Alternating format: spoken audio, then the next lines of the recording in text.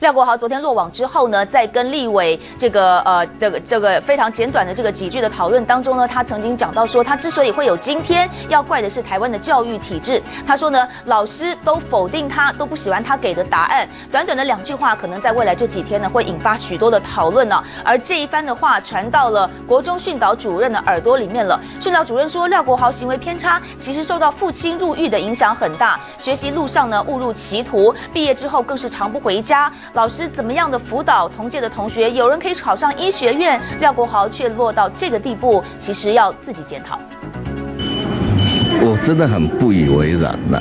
一句不以为然，这是廖国豪老师心里最大的感受。廖国豪落网了，却大吐苦水，说是台湾的教育害了他，是老师不懂得欣赏他，真的是这样吗？他父亲对他影响是蛮大的，哪一方面的影响？那因为他他父亲入狱的时候。对他的影响是最大的时候。从毕业纪念册看到年少时的廖国豪皮肤白皙俊秀，绰号是高祖爷，怎么会料到高祖爷变成杀人嫌犯？这中间的转折点，老实说，他们都看在眼里。是跟家长这样互动做到这样，然后他毕业以后甚至都没有回家。